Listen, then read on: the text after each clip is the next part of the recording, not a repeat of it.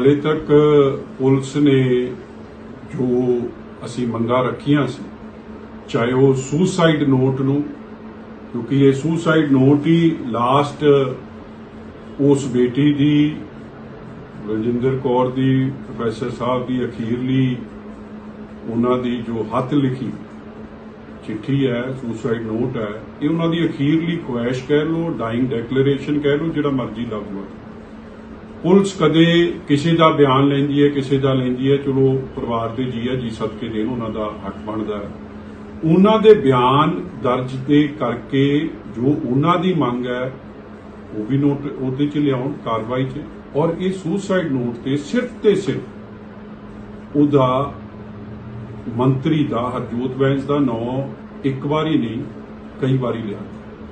SSP ਸਾਹਿਬ ਤੋਂ ਮੈਂ ਆਸ ਨਹੀਂ ਰੱਖਦਾ ਕਿਉਂਕਿ ਐਸਐਸਪੀ ਸਾਹਿਬ ਪਹਿਲੇ ਐਸਐਸਪੀ ਨੇ, ਜਿਨ੍ਹਾਂ ਨੂੰ ਹਾਈ ਕੋਰਟ ਤੋਂ ਜਸਟਿਸ ਸ਼ਰਾਵਤ ਸਾਹਿਬ ਨੇ ਖਿਚਾਈ ਕੀਤੀ ਹੈ ਕਿ ਭਾਈ ਇਲੀਗਲ ਮਾਈਨਿੰਗ ਦਾ ਤੂੰ ਲੋਕਾਂ ਤੇ ਪਰਚਾ ਨਹੀਂ ਦਿੰਦਾ, ਤੂੰ ਟਰੈਕਟਰ ਟਰਾਲੀ, ਮਸ਼ੀਨਰੀ ਤੇ ਪਰਚਾ ਦਿੰਦਾ। ਉਹ ਤੋਂ ਹੀ ਸਪਸ਼ਟ ਹੁੰਦਾ ਔਰ ਇਹ- ਉਹਦੇ 'ਚ ਇਸ ਤਰੀਕੇ ਦੀ ਖਿਚਾਈ ਕੀਤੀ ਗਈ ਹੈ ਐਸਐਸਪੀ ਦੀ, ਕਹਿ ਕਿ ਇੱਕ ਸਾਲ ਦੀ ਜਿੰਨੀਆਂ ਕ੍ਰਾਈਮ ਮੀਟਿੰਗਾਂ ਹੋਈਆਂ ਤੇਰੀਆਂ ਮਤਲਬ ਜਿੰਨਾ ਲਾਅ ਐਂਡ ਆਰਡਰ ਦਾ ਤੇਰੇ ਇਸ਼ੂ ਹੋਇਆ, ਉਹਦੀਆਂ ਸਾਰੀਆਂ ਕਾਰਵਾਈਆਂ ਮੇਰੇ ਕੋਲ ਲਿਆ ਕੇ ਦਿਖਾਓ ਕਿ ਤੁਸੀਂ ਕਰਦੇ ਕੀ ਹੋ।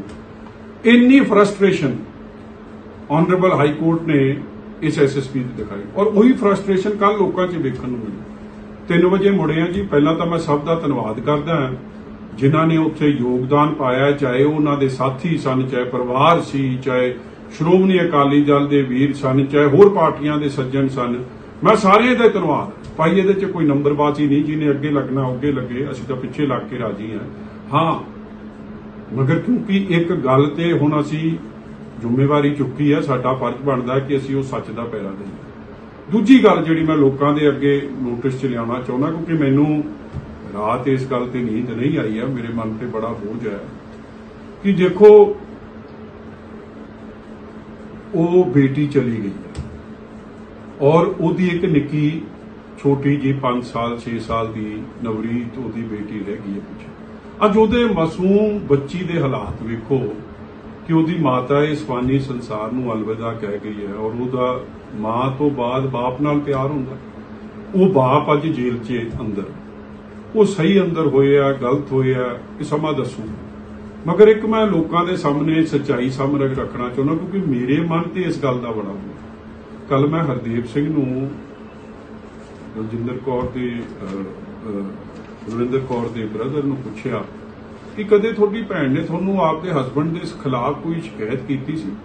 ਰੱਬ ਨੂੰ ਜਾਣ ਦੇਣੀ ਉਹਦਾ ਤਾਂ ਮੈਨੂੰ ਜਵਾਬ ਸੀ, ਚੀਮਾ ਸਾਹਿਬ ਮੇਰੇ ਨਾਲ ਬੈਠੇ ਸੀ ਕਿ ਨਹੀਂ, ਸਾਨੂੰ ਨਹੀਂ ਕਦੇ ਫਿਰ ਮੈਂ ਪੁਲਿਸ ਤੋਂ ਪਤਾ ਕੀਤਾ ਔਰ ਇਹ ਗੱਲ ਮੈਂ ਐਸਐਸਪੀ ਨੂੰ ਵੀ ਪੁੱਛੀ। ਮੈਂ ਕਿਹਾ ਜੀ, ਤੁਹਾਡੇ ਕਿਸੇ ਥਾਣੇ 'ਚ ਹਸਬੰਡ ਵਾਈਫ ਦੇ ਕੋਈ ਡਿਸਪਿਊਟ ਦੀ ਕੋਈ ਤੁਹਾਡੇ ਕੋਲ ਕੋਈ ਐਫ ਆਈ ਆਰ ਤੁਸੀਂ ਪਹਿਲਾਂ ਦਰਜ ਕੀਤੀ ਹੈ ਜਾਂ ਕੋਈ ਕੰਪਲੇਂਟ ਆਈ ਹੈ?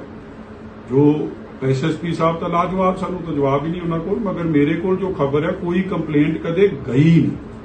ਫਿਰ ਹਰਦੇਵ ਸਿੰਘ ਨੇ ਇਹ ਗੱਲ ਕਹੀ ਕਿ ਦੇਖੋ ਜਿਹੜੀ ਬੱਚੀ ਅਸੀਂ ਆਪਦੇ ਘਰੇ ਲੈ ਆਏ ਆ, ਉਹਨਾਂ ਦੀ ਬੇਟੀ ਨੂੰ ਬਲਵਿੰਦਰ ਕੌਰ ਦੀ, ਮਗਰ ਉਹਦਾ ਪਿਆਰ ਆਪਦੀ ਦਾਦੀ ਨਾਲ ਬੜਾ ਉਹ ਦਾਦੀ ਨੂੰ ਨਹੀਂ ਛੱਡਦੀ। ਸਾਧ ਸੰਗਤ ਜੀ, ਮੈਂ ਹੱਥ ਜੋੜ ਕੇ ਅਪੀਲ ਕਰਦਾ ਹਾਂ ਕਿ ਦੇਖੋ, ਇੱਕ ਨਿੱਕੀ ਜੀ ਆਡੀਓ ਤੇ ਜਿੱਥੇ ਉਹਨੇ ਖਾਲਸਾ ਜੀ ਕਿਹਾ, ਮੈਂ ਖਾਲਸਾ ਜੀ ਬੜਾ ਦੁਖੀ ਹੋ ਕੇ ਕਿ ਆਪਾਂ ਉਸ ਗੱਲ ਤੇ ਉਸ ਨੂੰ ਤਾਂ ਅੰਦਰ ਕਰਾਤਾ ਤੇ ਜਿਹੜਾ ਸੁਸਾਈਡ ਨੋਟ 'ਚ ਉਹਨੇ ਆਪਦੇ ਹਸਬੰਡ ਨੂੰ ਜਾਂ ਆਪਦੇ ਸਹੁਰਾ ਸਾਹਿਬ ਨੂੰ ਜਾਂ ਆਪਦੇ ਸਹੁਰੇ ਪਰਿਵਾਰ ਨੂੰ ਕਿਸੇ ਜ਼ਿੰਮੇਵਾਰ ਨਹੀਂ ਠਹਿਰਾਇਆ।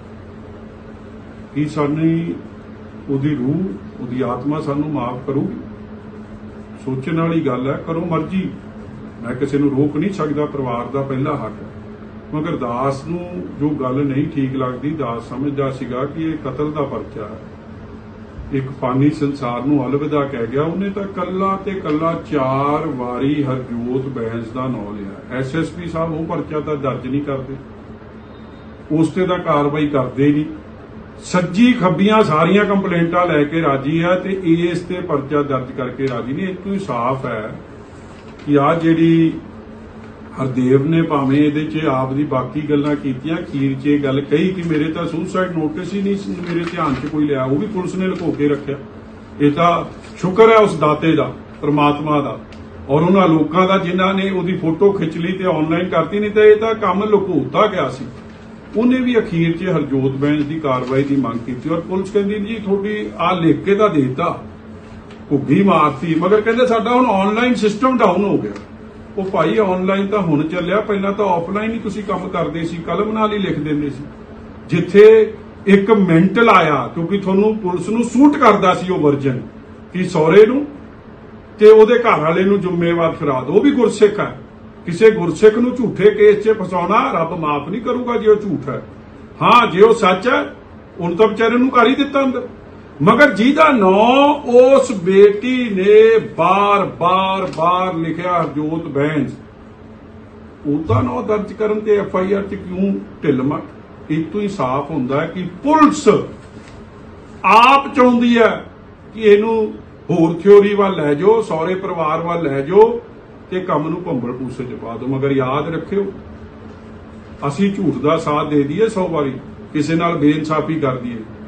ਉਹ ਰੱਬ ਉਹ ਪਰਮਾਤਮਾ ਦੀ ਕਚਹਿਰੀ 'ਚ ਇਨਸਾਫ ਸੱਚ ਦਾ ਹੋਊਗਾ। ਲੋਕਾਂ ਦੀ ਕਚਹਿਰੀ 'ਚ ਇਨਸਾਫ ਸੱਚ ਦਾ ਹੋਊਗਾ। ਇਸ ਲਈ ਮੈਂ ਦੋ ਅਪੀਲਾਂ ਕਿ ਭਾਈ ਸਭ ਸੱਚ ਦਾ ਸਾਥ ਦਿਓ, ਪਰਿਵਾਰ ਦਾ ਸਾਥ ਦਿਓ।